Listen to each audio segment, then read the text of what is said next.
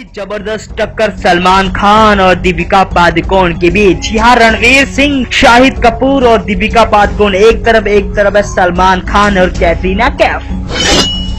जी हाँ अभिनेता सुपरस्टार सलमान खान की फ़िल्म आ रही टाइगर, ज़िंदा है धमाल मचाने के लिए। जहाँ एक तरफ़ पद्मावती रिलीज़ होने जा रही फ़िल्म का ट्रेलर लोगों को बहुत पसंद आया। पद्मावती इस सबसे बड़ी मात्रा में सुपर डुपर हिट होने के लिए तैयार है। इस फ़िल्म की अगर बजट की बात की जाए, डेढ़ करोड़ का इस फ़िल्म का बजट है। लेकिन दोस्तों, आपको बता चले, इस बार सलमान खान से टक्कर लेंगे दीपिका पादुकोण, रणवीर सिंह, शाहिद कपूर, अकेले सलमान और कैटरीना से।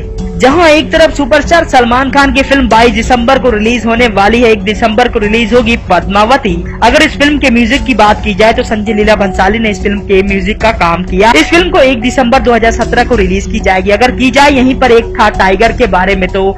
टाइगर ज़िंदा में अलियाबाद ज़फ़र इस फ़िल्म को डायरेक्ट करते नज़र आए। इस फ़िल्म के निर्माता यशराज चोपड़ा जी है। इस फ़िल्म में सलमान खान के साथ कैटरीना कैफ सुदीप और परेश रावल जैसे बेहतरीन एक्टर काम करते नज़र आएँगे। उम्मीद करते हैं दोनों ही फ़िल्में अपनी जगह बेहतरीन साबित उम्मीद करते हैं कि दोनों फ़िल्मों में टकरार हो, लेकिन सबसे ज़्यादा बॉक्स ऑफ़िस कलेक्शन आखिर कौन सी फ़िल्म कमाएगी? आपके